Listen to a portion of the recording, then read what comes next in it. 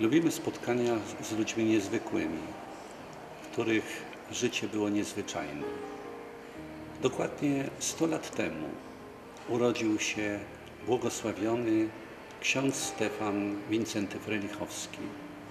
Niezwykły za życia i niezwykły po śmierci.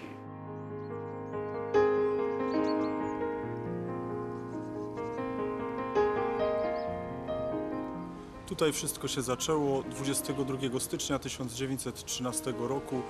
W domu, przy którym stoimy w Chełmży, na ulicy Chełmińskiej 5, przyszedł na świat błogosławiony ksiądz Stefan Wincenty Frelichowski, a tydzień później, 29 stycznia, w pobliskim parafialnym kościele pod wezwaniem Trójcy Świętej przyjął sakrament Chrztu Świętego.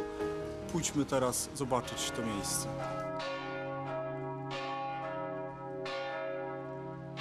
Tutaj przy tej ścielnicy 100 lat temu rozpoczął mm, mały Wicek swoją przygodę z Chrystusem, któremu pozostał wierny do końca, do śmierci, męczeńskiej śmierci w Dachau.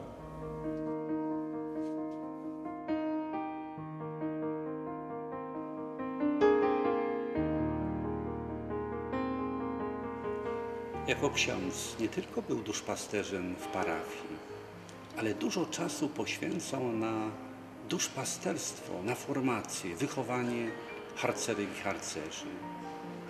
A kiedy został aresztowany i osadzony w obozie koncentracyjnym w Dachau, też okazał się niezwykły.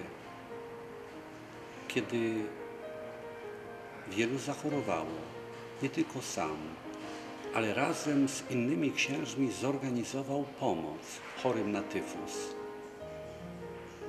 Umarł zarażony trzy miesiące przed zakończeniem wojny.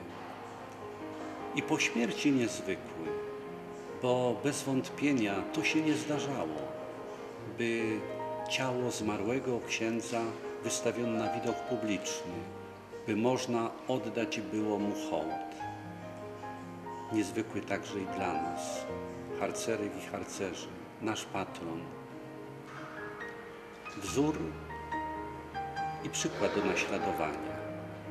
Zapraszam więc na 23 lutego w sobotę do Katedry Polowej Wojska Polskiego. Zuchów, harcerki i harcerzy, wszystkich, abyśmy jeszcze raz przeżyli to niezwykłe spotkanie z niezwykłym kapłanem, człowiekiem, harcerzem. Serdecznie zapraszam.